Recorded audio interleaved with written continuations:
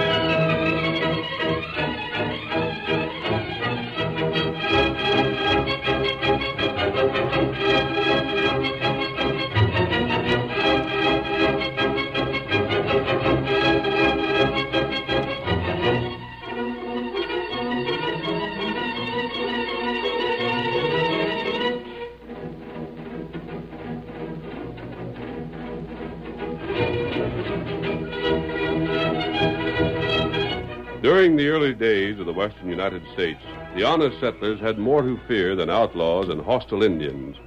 Confidence men and swindlers crowded the new territory, but these criminals found one man who could match their cleverness. The masked rider of the plains outwitted them at every turn. He fought for justice through the length and breadth of seven states.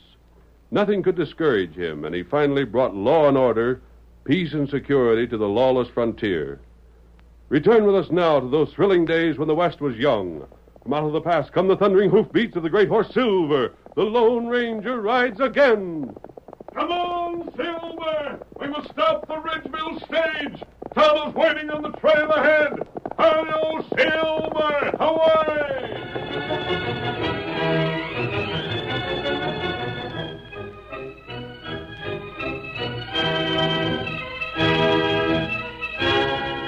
It was the dead of night, and the stagecoach, rolling and tossing on the trail to Ridgeville, was still many miles from its destination. Ahead of the stage, listening to the thunder of its approach, were two men, one masked, the other an Indian. They were mounted on powerful horses and hidden behind a clump of trees when. There it is, Tonto. Uh, Remember, keep the attention of the guard and driver after we stop them. I don't want them to see what I'm doing. how to do that? Careful now. Don't show yourself until I give you the word. Uh,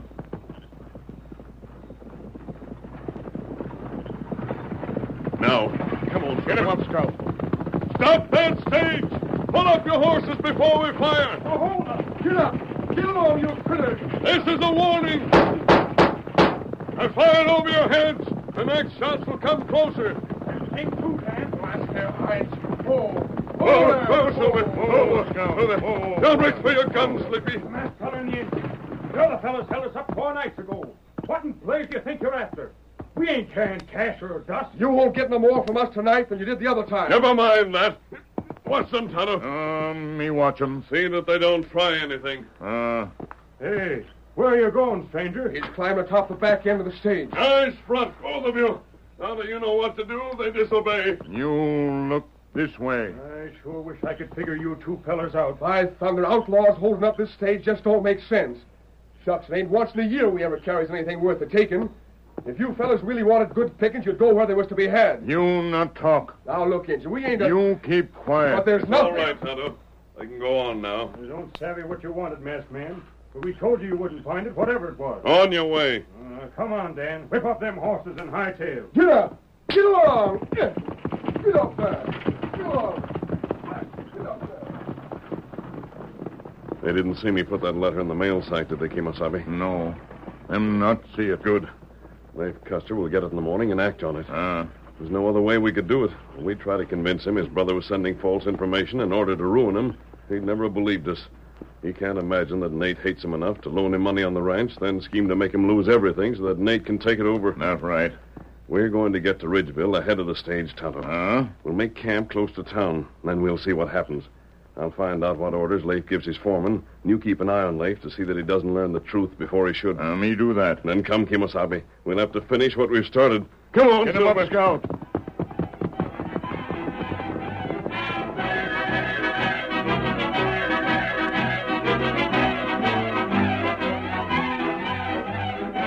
In the morning, when the stage, driven by Dan and Sleepy, reached Ridgeville, Lafe Custer, the rancher, was one of the crowd on hand to greet it.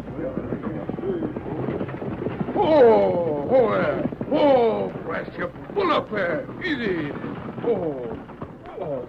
Hey there, Dan. Letter come for me yet? Hello, Lafe. You'll have to wait till Mr. Crosby gets a chance to look through the bag. Sleepy, climb back and pull that mail sack down. Sure will, Dan. Gosh, if it ain't come this time, I don't know what's keeping it. I've been looking for word from Nate for a week or more. Well, it's likely on the way. Here you are, Mr. Crosby. Hatch. There we got it. Say, I was near forgetting. Huh? You know, them same two armies that held us up the other time stopped the stage again last night. Yeah, it's a fact, so help me. The one of them was masked, and the other was a redskin, like I told you they was afore. They get anything? Nothing so far as me and Sleepy could find out. Ain't that so, Sleepy? If they did, I don't know what it could have been.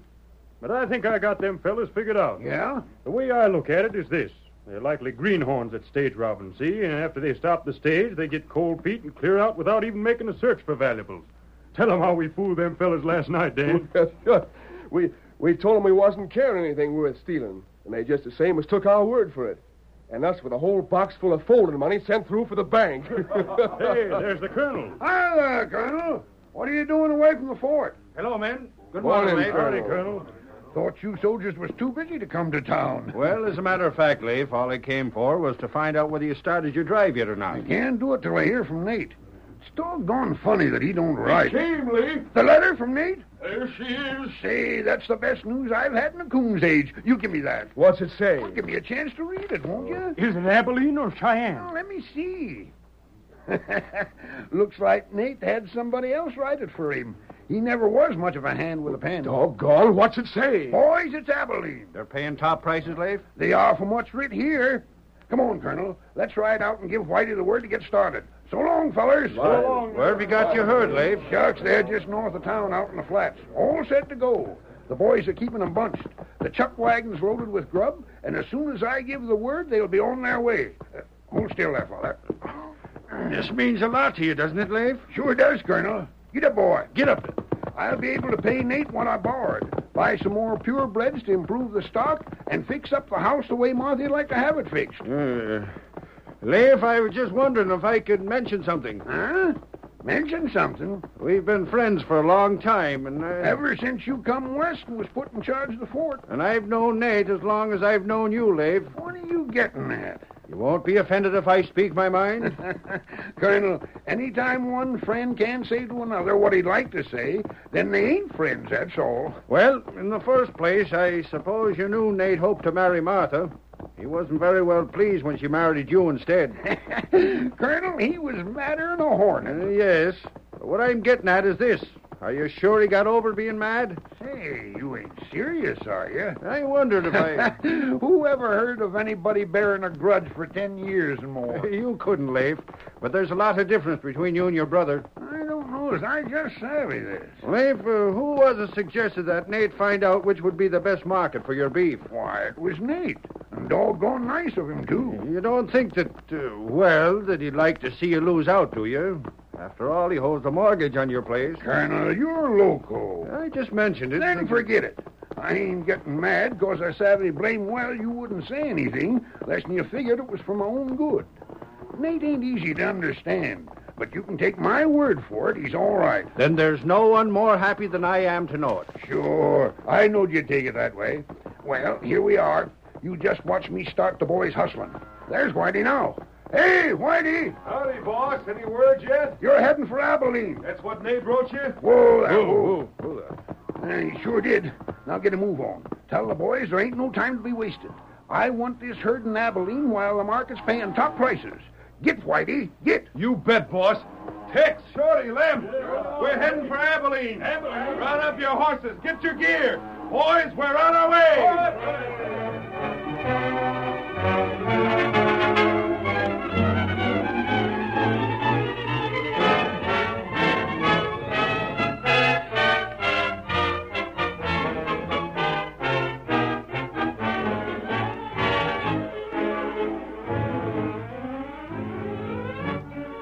With Whitey, the foreman, in charge, and with a large trail crew to assist him, the herd began the long trek to Abilene. A week, two weeks passed by, and then one evening Tonto raced into the well hidden camp he shared with the Lone Ranger. Oh, Scout. Oh, oh, oh. Me here. Me here, bad news. Bad news, Tonto? Uh, they find out about brother. You mean he's learned Nate was trying to trick him? That's right.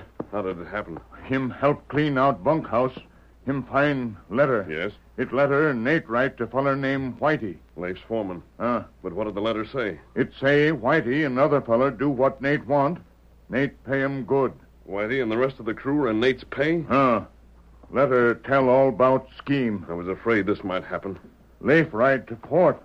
Talk to colonel. Ask help. Help from the soldiers? Uh, Lafe want soldier ride after cattle. Stop herd. Tonto, we can't allow that. Uh, How long has he been at the fort? Him not go there when me ride way, but him say him go there. Here, Silver. Tonto, we've got to ride to the fort. Huh? And tell Lafe what we did. Tell him that we took his brother's letter from the stage and put a different letter in its place a few days later. He's got to let his herd continue to Kansas. Steady, old fellow. Maybe him not believe you. He'll have to believe us. If he doesn't, if he sends his herd to Cheyenne instead, he'll be ruined. Come on, Kimosabe. Get him up, Scout. Come on, Silver.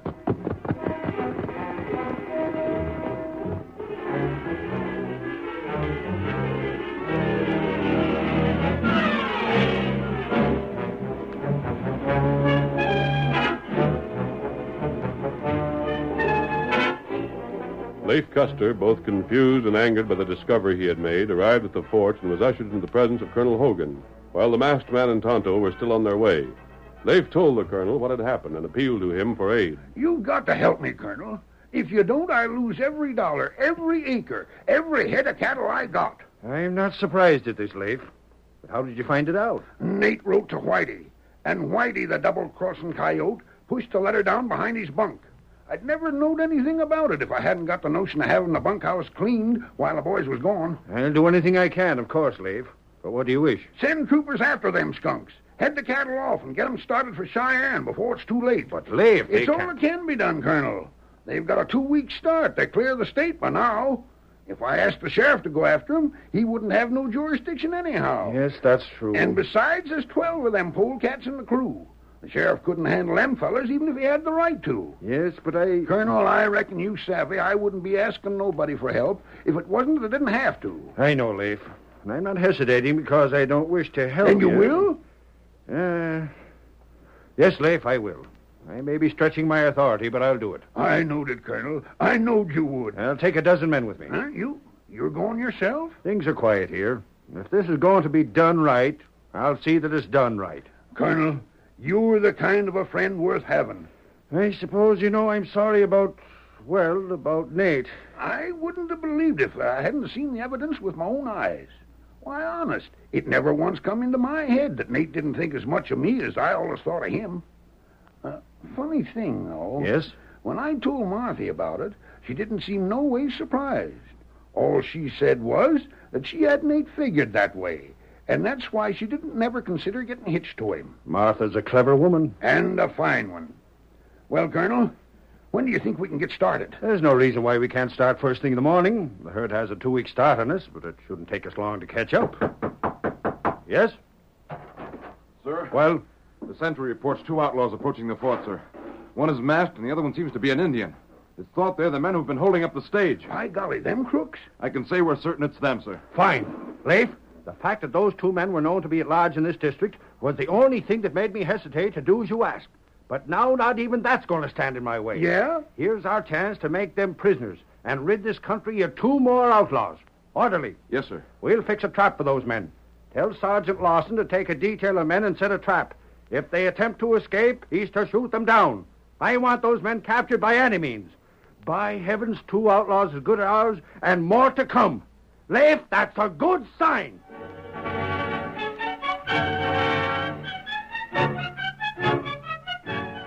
The curtain falls on the first act of our thrilling Lone Ranger drama.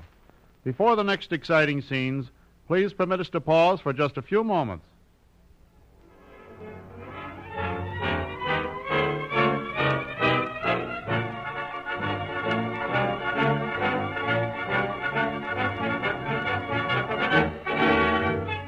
Now to continue our story. When an orderly reported that the Lone Ranger and Tonto had been seen approaching the fort, Colonel Hogan believed them to be outlaws and ordered a trap set for their capture. Now we see the masked man and his faithful Indian companion racing toward the fort, unaware of the danger ahead. There's the fort, Tonto. Uh, they must still be there. If he'd left, we would have met him on the trail. That's right. Come on, old Get fellow. up, Scout. I wonder if What, what matter? it's possible that we've been seen approaching.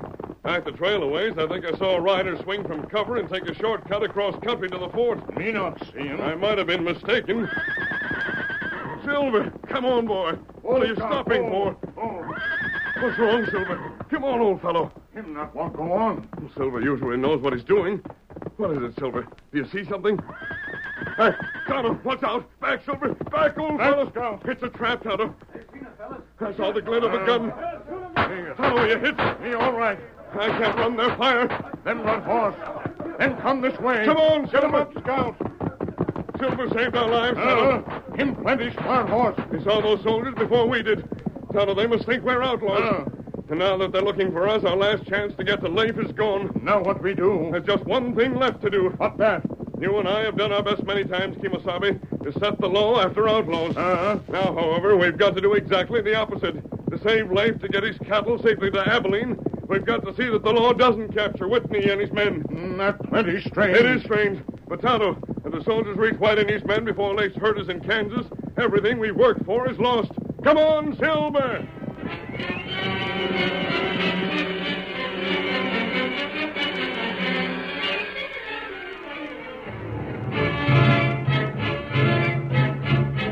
The troopers pursued the masked man and Tonto, but in the end they were forced to admit failure and return to the fort.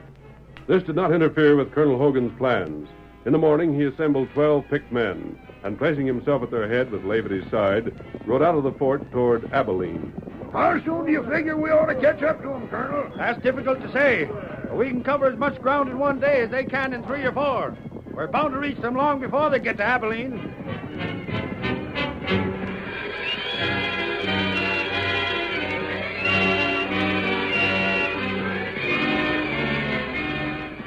They pressed on day after day over rough and level country, treading narrow canyons, galloping across open tableland, fording swift mountain streams and quiet rivers. They paused only when necessary and took up the trail again at the earliest possible moment. Throughout the entire journey, unknown to them, the masked man and Tonto paralleled their course. You see the soldiers, Tonto? Uh, them far off. You can just make them out below us there. Them find herd soon. But before they reach the herd, they must pass through Keyhole Pass. Ah. when they get that far, I think they'll meet with a surprise. Come on, old him up, fellow. Scout.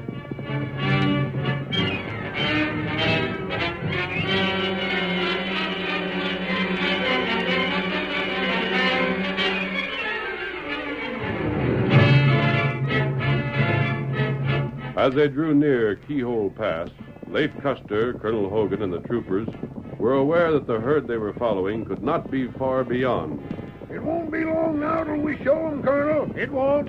If we don't see your cattle before we're through the pass, Lafe, then I've missed my guess completely. Sergeant. Yes, sir. Ride ahead and find out if anything can be seen. Right, sir. Get up there. Get up. What was that for, Colonel? Take a look through the pass. We can get a fairly good view now. Doesn't that look like dust to you? By thunder, it does. The kind of dust a trail herd would raise? That's them sure shooting. We'll know as soon as Lawson returns. Hey, he's waving. That's them, all right. Yep, here comes the sergeant back like he's trying to win a race. Is it them? It is, sir. We'll be up to them in less than an hour. Don't slack pace. We got. Well, Take a look up above. Look where that ledge is. the ledge.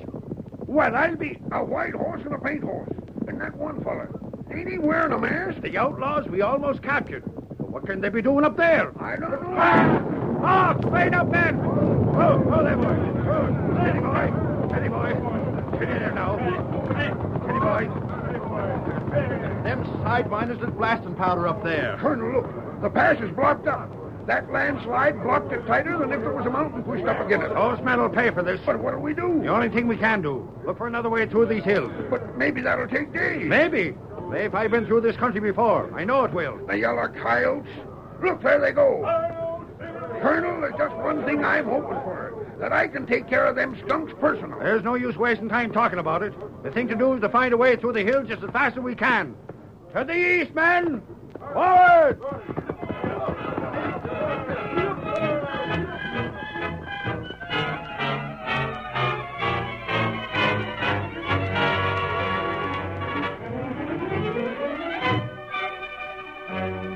Colonel Hogan and his party searched for a second opening in the hills. It took them three days to find one, and those three days saw Lafe's herd that much closer to its destination. In the meantime, the Lone Ranger and Tonto had kept in the rear of the herd, on the alert for the troopers' reappearance. When the soldiers had found a trail and made camp for the night beyond the hills, the masked man had already planned his next move. We see him with Tonto just before dawn the next morning. Quiet, Silver. Tonto, Uh, me, me fix 'em. you've taken the hobbles off their horses. Uh, Get mounted. Be careful of noise. you, you ready? Yes. And Tonto, I think this is going to win for us. The herd needs only 12 hours more, then Abilene. That's right. And by the time the soldiers have recaptured their horses after we've scattered them, the herd will have the 12 hour start. Uh, You saw no one stirring? no, them all sleep. Good. Now all the noise we can make, Kimosabe, keep firing as fast as you can. Come on, Get a watch, Scout. Get them moving, Tonto. The horses! It's the masked man again. Fire at them! Shoot them down! The dirty coyotes! Blast them, they left us afoot. I'd like to get those crooks and break their necks! And we was almost up to the cattle again. Colonel, what in blazes are we going to do this time? Go after the horses. What do you suppose? Into your clothes, men, and get those horses back!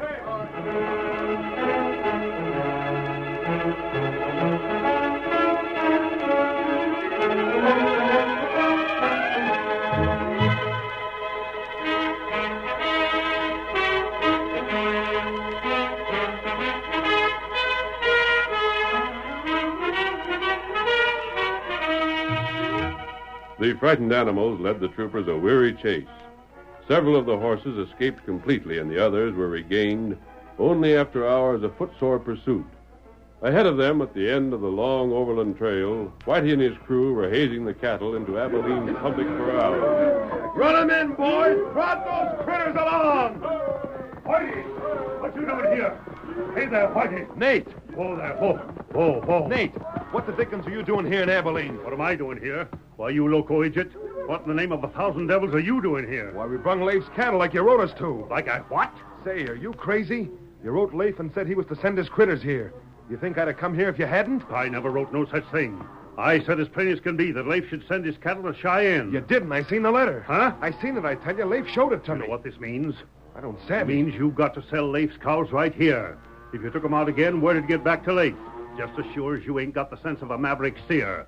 Abilene's paying top prices. Lafe will clean up. He'll pay off what he owes me, and my plans will go for nothing. But how was I to know? I just done like the letter said and Lafe told me. Ah, look what's coming. A masked man with the redskins. Stay right there. Go, Silver. Go, go, fella. Now, what in the deuce? There's going to be some explanations, Nate. What right have you got And I believe those men you see riding this way will be interested in hearing them. What men? Troopers. If you look closer, you'll see your brother is with them. It's late. I'm getting out of here. No, you don't. Put up them guns. Not until the soldiers take over, which won't be long. Hold that masked man! It's him that's holding us.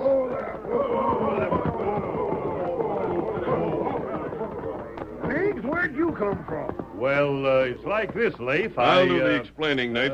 and don't attempt to make a break for it. Stranger, I'm putting you under arrest, and the Indian with you. Very well, but hear me out first. What do you got to say to us? If Whitey's had a chance to settle these critters yet, you've the same as busted me. I- Wait. But It's Abilene that's paying top prices, Lafe. Go on, Nate. Tell them the truth. You've got nothing more to lose now. Nate, is what the masked fella says true? Yeah, I, I reckon it's... But I, I don't savvy this. Nate, I know all about your crookedness. I found the letter you wrote to Whitey here. The letter? You couldn't have. Yep. Found it behind his bunk. So there's no use in your trying to lie out of it. But what I can see is When you wanted to trick me, why, you'd send me where beef prices are good. He didn't. Huh? I'll prove it to you. Take a look at this. I've been saving it for you. Uh, it, it's letter. The one Nate really wrote. It advises you to send your cattle to Cheyenne. I still Hear don't... me out. One of your men was away from the ranch for several weeks recently, wasn't he? Well, there was Tex. Right. He was here in Abilene. I heard Nate boasting to Tex in one of the cafes about what he planned to do to you. You did? I couldn't tell you the truth because you wouldn't have believed me. Instead, I took Nate's letter from the stage and put another in its place several days later, which told the truth about the markets. Then, then you aren't stage robbers. That was your reason for stopping the Ridgeville stage. It was, Colonel. Later, when Lafe found out his brother was attempting to trick him, he thought we he'd be ruined if his herd reached Abilene. Tonto and I rode to the fort to explain, but we were fired upon. The only thing left then was to prevent your interference. Mister, I reckon me and the colonel here, and most of the men with us, uh, got some apologies to make to you. But there's just one thing more I'd like to ask you. Yes? Why was Nate right here on the spot? Because he thought it was the safest place. He'd written you to go to Cheyenne and had no reason to believe that message wasn't delivered. He reasoned that by staying here, he'd be sure to dodge you. Stranger, I take back what I said about putting you and the Indian under arrest. It's Nate and the crew that sold out to him who'll go to jail. One moment. Let me have Nate's letter that I gave you to look at, Lafe. Why, sure. Here you are. Thanks. Now then, Hold on there. You're destroying the only real evidence we got. I am. But you can't. Lafe, I think you'll understand. I do, stranger. I. Well, you see, Colonel, even if Nate is a crook, he's my brother, too. And it warn't nobody but me that he tried to harm. But these other men, the ones who helped him. Can't hardly jail them without jailing Nate, can we? Hmm, perhaps you're right. But if I was... Shucks, I ain't a revengeful man. I figure they've been punished enough. Nate was punished by his scheme not going through. The rest of 'em got it two ways. They lose good jobs with me, and I got a suspicion that with the way things turned out, they won't be getting paid what Nate offered them either. Nope. We'll do like the masked man hinted.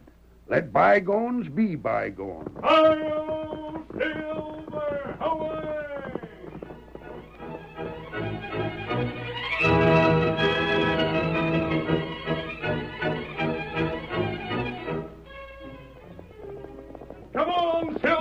Fellow! There's an Indian uprising near Red Bank! Hurry, old boy! Hi-yo, Silver! Away!